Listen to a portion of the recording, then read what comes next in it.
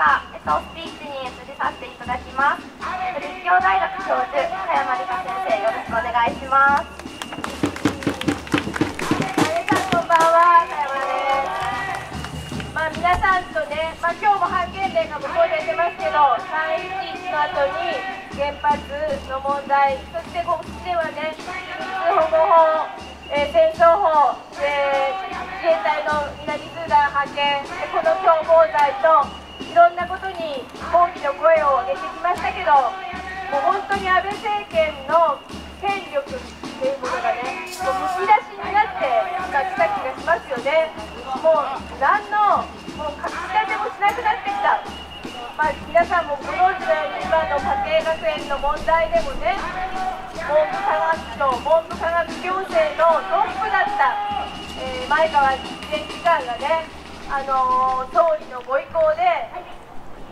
内閣府からプレッシャーがかかって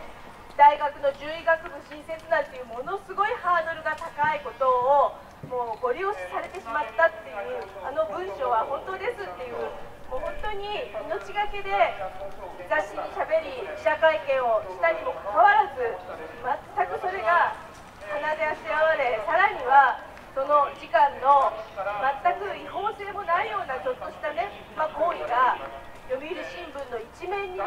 うという。もうその権力がどこまでやるのかこんなことまでやるんだよっていうようなことをねもうそれを隠し立てしなくなってきましたよね。もうひどさをむき出しにしてきている、まあ、そういう状況だというふうに思います。で私たちは物を言うとこんな目に遭うんだとか行動するとこんなことになるんだと政権にちょっとでも歯向かうとこういうことをやってやるんだっていうことをねもう政権ももう隠さない、そして、まあ、いろんな国会での答弁を聞いていても、詭弁とかいうレベルではない、完全な嘘とか、ごまかしを平気でする、詭弁ならまだこっちも、それはおかしいっていうふうに議論できるけど、嘘を言われたらね、それに対してどうやってもこちらもそれを議論していいかもわからないぐらいな嘘を平気で言ったり、そこまでのことをね、彼らもむき出しになってやってくるようになりましたでこういう状況まあ私と同じような年齢の人は覚えてるなんとなく知ってるんじゃないかと思うんですけど私子供の頃に皆さん若い人知らないと思いますけど世界は東西冷戦っていう状態にいましたよね。まあ、アメリカを中心とした資本主義諸国が西と言われ日本もそっち側。そしてソ連を中心とした共産主義諸国は東と言われてその諸国あの国同士が武器を使った戦争はしなかった熱い戦争はしてなかったけども一触即発の非常に、まあ、緊張した状態がずっと続いてた私子供の頃そうでした60年代とかもそうでしたでその時にね私たち日本に住むのは西側だからさまあ、その東側のソ連っていうのは巨悪だ悪なんだっていうふうに教えられましたよねでソ連では言論弾圧が行われてるとか権力にちょっとでも歯向かうと粛清されるとかねもう物も言えないんだ行動もできないんだそのひどい巨悪がソ連なんだって言われてきましたけどもなんてことはないもうその巨悪が今この日本の中に出現しているしかもそれがもうあそこのねもう永田町のこの国会議事堂の中の政権っていうこの中に巨悪がこんな形で日本に生まれてくるなんていうことをね私たち考えてなかった。でもそれが起きてしまっている。そしてこういうものが言えない社会今回の共謀罪あるいは共謀罪前でもねこうやってもう前とはあの時間フレンチカレー周時間が見ててもそうですけども人のプライバシーにも平気で入り込むそして必要あればそれを大々的にさらすっていうね、まあ、こういう目に遭うんだぞっていう脅しですよね脅し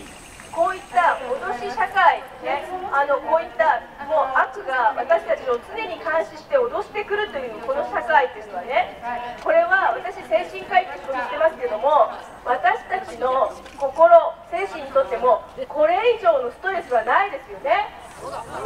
でもう精神科の診察室にはこれね病気でいつも私は監視されてるとか悪にこう虐げられてるっていういわゆる妄想を持った人はたくさん来ます。でね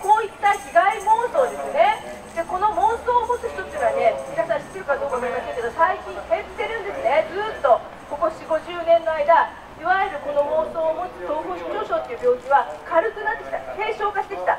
これ原因はいろいろあると言われてるんですけども一つはやっぱりねその現実の中の、まあ、冷戦構造みたいのもなくなって91年でもソ連が崩壊してなくなって